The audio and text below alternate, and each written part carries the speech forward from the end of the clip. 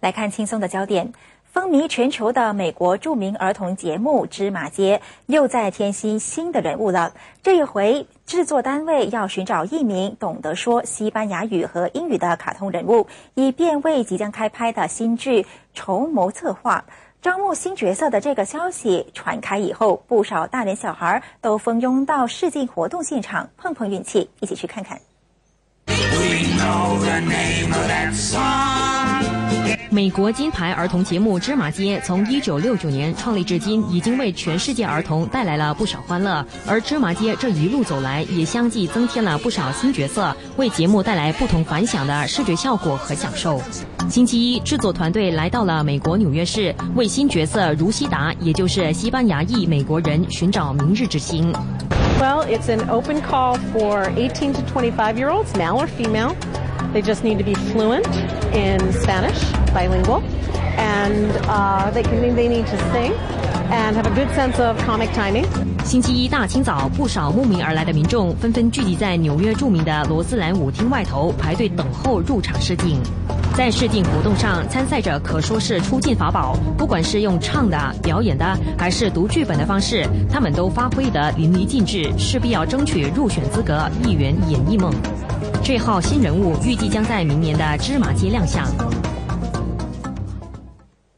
智利的贫困状况非常的严重。根据调查，在智利全国年幼的儿童当中，平均每四人就有一人生活在贫困的环境。不过，却有这么一名伟大的八十三岁年迈老电影人，穿梭在当地的贫民窟，向数以万计的儿童灌输电影知识，希望透过电影协助当地的儿童们脱离贫穷的生活。他就是伟大的电影人维嘉。今年已经八十三岁高龄的他，曾经在智利大学教授电影学。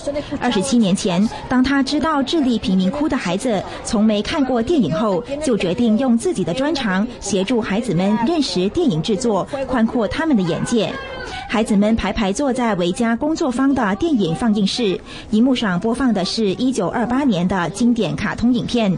维嘉说：“放映不同类型的电影，主要是让孩子们认识电影中的奥妙，并指导小朋友们利用简单和有限的工具和材料制作电影短片。”维嘉深信电影有独特的力量，可以改变一个人的一生。所以，他除了希望这些贫困的孩子能够认识电影、掌握这方面的知识之外，还希望借助电影的故事引导他们向善，改变他们的人生观，进而使孩子们积极面对人生挑战，成功摆脱贫穷的窘境。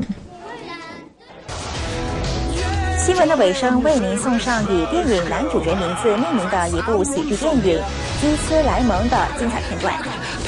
Let the bell meet the end. I think the pilots have come back. It's like a shiitake mushroom. Have a look at that there. I've got to say, you're my favourite Spice Girl. But you say that to all the Spice Girls? No, I've never met any. Ladies and gentlemen, I shall now demonstrate a quick erection. Shitting.